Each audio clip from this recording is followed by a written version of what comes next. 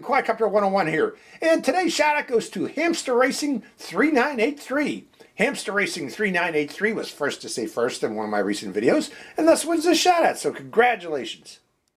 Good morning, Quadcopter 101 here, and I have something interesting for you today. This is the Potensic Remote ID Module RID 916.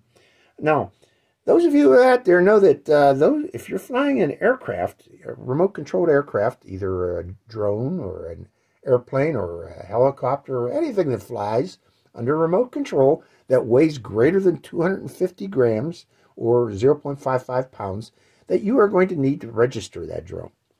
In addition, here in the U.S., I'm, keep in mind, folks, I'm focusing on the United States and I'm focusing on beginner pilots for my uh, uh, for this video for the remote ID. Although this remote ID module is usable throughout the world, uh, I'm going to go over the procedures to set it up for the U.S. only. sorry, for, sorry for the, my international viewers, but I'm really not familiar with uh, each different country's uh, requirements for remote regarding remote ID. But I am more or less uh, familiar with what's required in the U.S. So that's what we're going to focus on with this.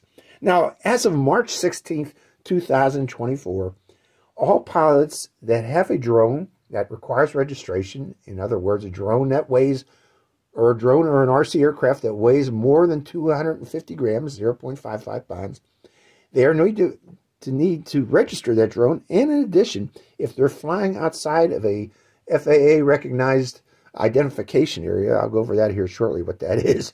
But an FRIA, if you're flying outside of one of those and you want to fly that 250 gram drone, you're going to need to include a remote ID system on your aircraft if it doesn't already have it.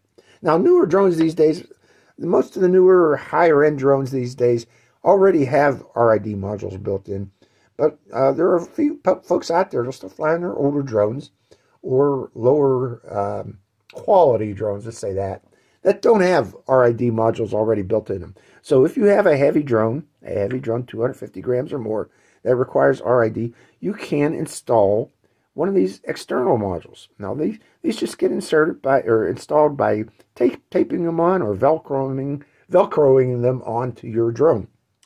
And it provides the coverage required under the FAA to uh, provide remote identification of the drone. Now, let's talk about that FRIA real quick. Federal or FAA recognized identification area. These are areas that the FAA has set up across the U.S.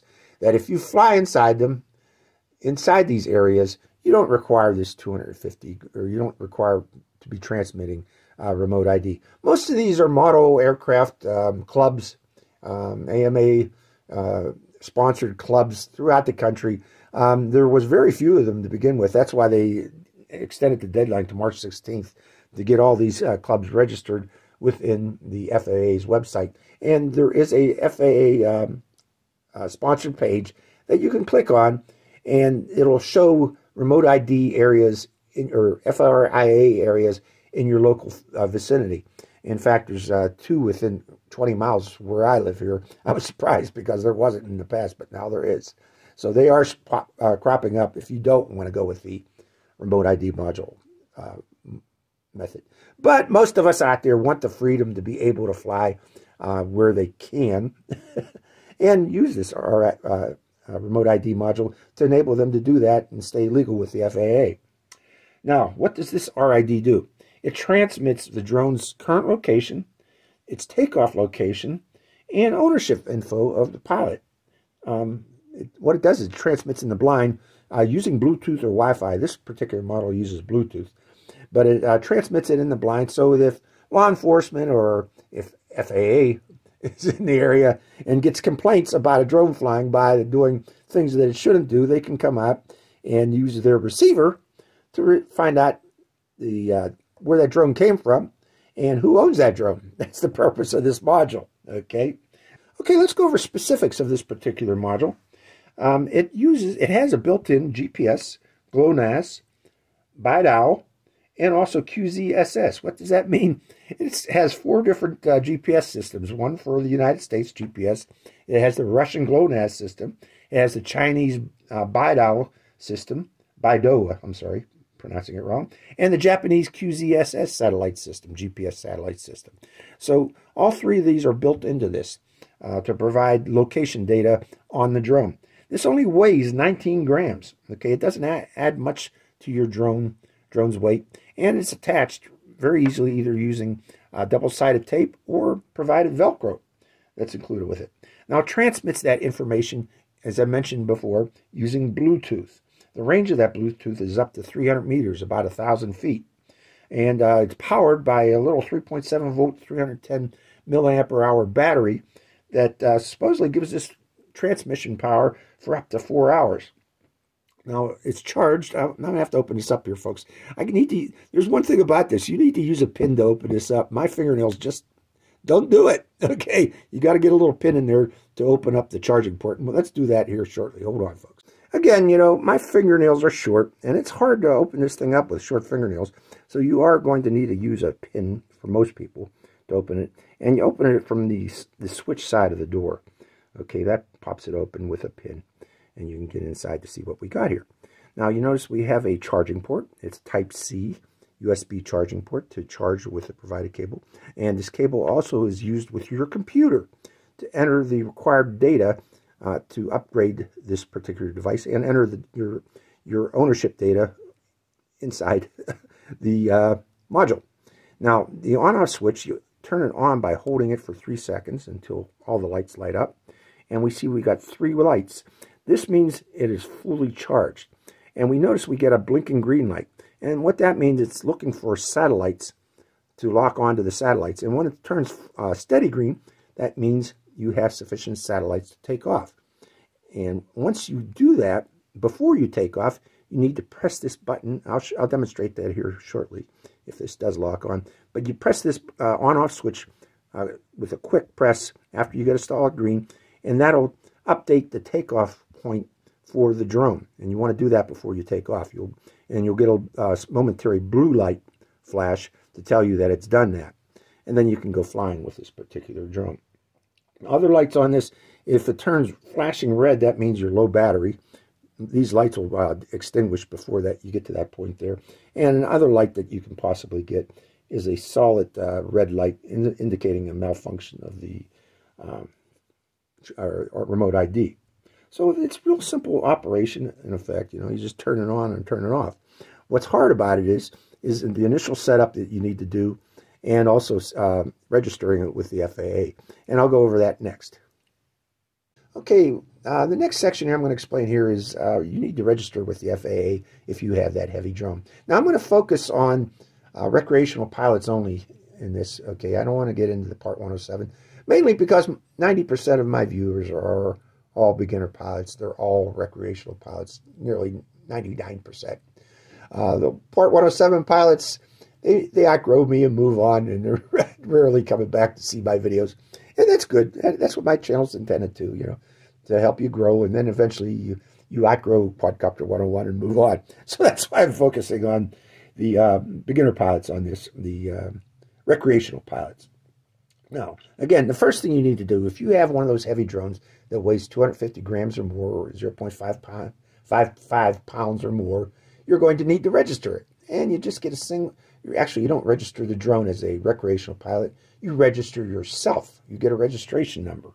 And you get it from the FAA. And that's good for all of your heavier uh, than 250 gram drones.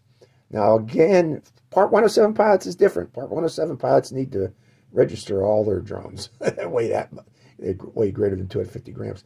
Uh, recreational pilots do not. So keep that in mind. You only need to get an FAA registration number for yourself, and you put that on all your all of your heavy drones. Okay, you just write it on a piece of tape and just tape it onto your drone. That's all you need to do. Okay, with that single number. So you pay five dollars one time. Okay, you don't pay five dollars to register. I'll go over this later, but you only register yourself one time as a recreational pilot and pay that $5 one time. Now, um, to get that registration, you need to go to the FAA.gov website. And once you got that, I'm not going to go over how to do that. You're going to need to learn how to do that yourself. I think I have another video somewhere that shows how to do that. But once you get that, you also need to register this device on the FAA website once you have your um, FAA registration number. And it's free to, to register this device, to add this device to your um, inventory. Now, you go to the FAA's website and log in. After you have your registration number, you out, you'll be given a, an account along with a login, pass, login ID and a login password. So log into that account on the web, FAA's website and um, select Launch Drone Owners and then and Pilot's Dashboard. Once you've done that, select Manage Device Inventory. Then select Add Device. And on that page, fill in add you fill in the add device pop-up window that shows up. You want to select first yes for broadcasting RID info. Then you select the device type, which is a RID broadcast module. Then give it a nickname. In my case, I gave it RID 916 since that's its model number. And then um, option A, um, there's optional. You can enter the US UAS manufacturer and model. In my case, uh, I put in my one drone that does weigh over 250 grams into that. Then you enter in the RID serial number. Now, that RID, remote ID serial number, is available on the front of your device in very tiny letters, but there is a QR code.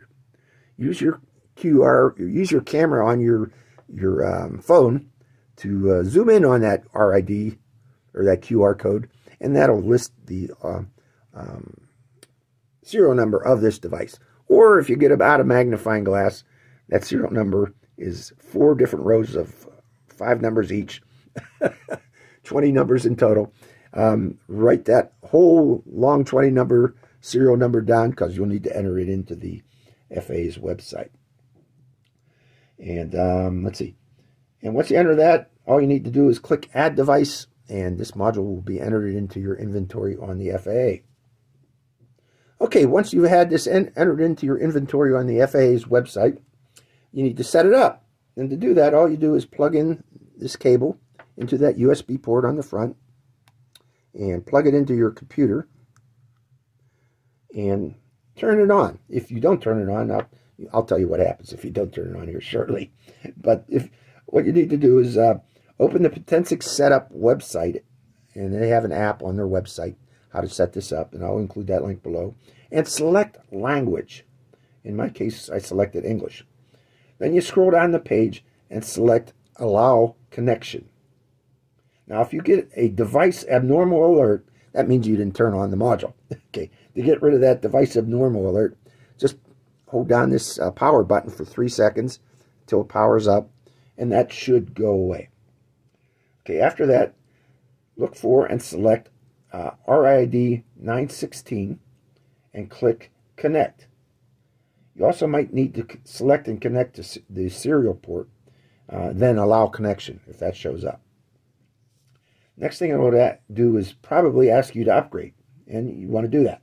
So click on Upgrade and leave the device connected as it goes through the upgrade process. Wait until you see Upgrade Succeeded pop-up window, and once you see that, close that pop-up window. Then scroll further down the page to the data writing section on that uh, web page. There's a data writing section. There you want to enter select equipment type, drone or airplane, in my case, multi-rotor drone. Then, then you enter your registration ID. Again, for you recreational pilots, it's just simply your FAA registration number. And um, that's about it, I believe. uh, the others, uh, the other entries on that page are optional, and a lot of them are for actually for Europe. Europe requires a few other uh, um, items that I really don't am unfamiliar with, so I'm not going to go over here. But once you enter your registration number and uh, remote or RID number for this, then select Write. Then you just simply power off the device, and you're done.